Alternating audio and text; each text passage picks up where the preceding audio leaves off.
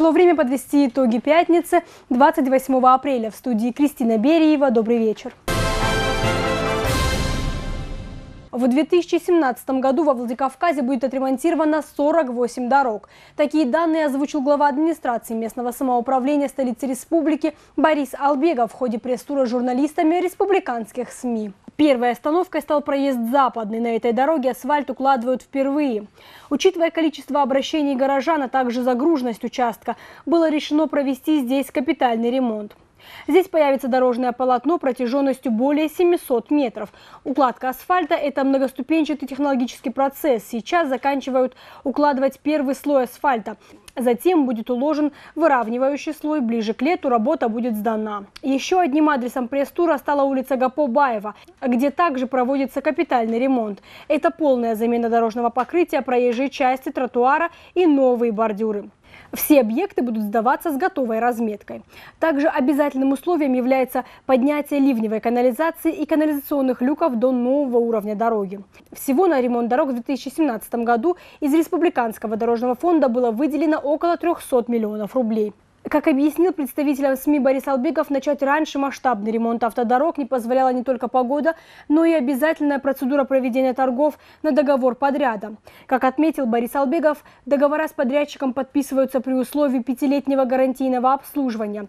В случае разрушения полотна дороги по вине подрядчика, последний будет обязан восстановить его за свой счет. Принцип подхода к ремонту дорог такой, важность улицы состояние улицы, самое плохое состояние и как она важна для жизнедеятельности города.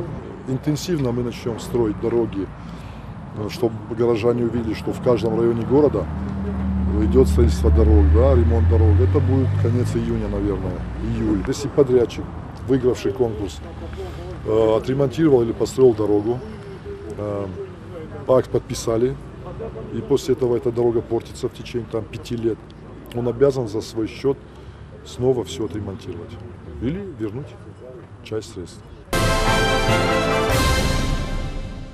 В администрации города состоялись публичные слушания по проекту решения собрания представителей Владикавказа об утверждении правил благоустройства территории муниципального образования. К собравшимся с докладом обратился начальник правобережного отдела управления административно-технической инспекции Руслан Касаев. Он подчеркнул, что за основу проекта были взяты правила по благоустройству города Казань, который справедливо находится в авангарде административной работы. В настоящее время на территории муниципального образования города Владикавказ действуют правила по благоустройству, утвержденные собранием представителей в декабре 2013 года. По мнению сотрудников административно-технической инспекции администрации местного самоуправления, управления столицы республики, редакция является практически малофункциональной, носит неопределяющий характер, какими должны быть правила, а в основной своей части повествующие, подчеркнул Руслан Касаев. Очередное заседание градостроительного совета при администрации местного самоуправления Владикавказа состоялось в мэрии города. На повестке дня пять вопросов. Первый и основной – определение победителя национального архитектурного конкурса на разработку концепции благоустройства ключевых общественных пространств города Владикавказ, в частности, набережной реки Терек в границах от улицы генерала Плиева до Пашковского. Конкурс входит в одно из направлений совместной программы Минстроя России, конструкторского бюро «Стрелка» и фонд Фонда Единого института развития в жилищной сфере. Программа рассчитана на 2017-2018 годы. Работы ведутся в соответствии с приоритетным проектом правительства Российской Федерации по формированию комфортной городской среды. В конкурсе участвуют 40 городов. Для победителей учрежден приз 25 миллионов рублей на благоустройство территорий. Владикавказ представил 7 проектов, два из них посчитали лучшими. Однако члены градостроительного совета считают, что проекты требуют доработки, так как в них не учтены некоторые нюансы, например, материал, из которого исполнено ограждение реки Терек и снижение зеленых насаждений. Вторым вопросом повестки дня стало определение места установки памятника Льву Толстому. Как известно, Лев Николаевич очень любил Владикавказ, бывал здесь множество раз и умер с билетом в наш город в руках. Памятник известному автору планируется установить в районе ЖД вокзала. Также на заседании были рассмотрены вопросы установки монумента жителям Осетинской Слободки, погибшим на фронтах Великой Отечественной, и скульптурной композиции «Задолескина на». Во Владикавказской детской музыкальной школе номер один имени Петра Ильича Чайковского прошел День открытых дверей. В рамках мероприятия воспитанники музыкальной школы, ученики всех классов познакомили будущих учащихся и их родителей со своими навыками хорового пения, академическим и эстрадным вокалом, игрой на музыкальных инструментах.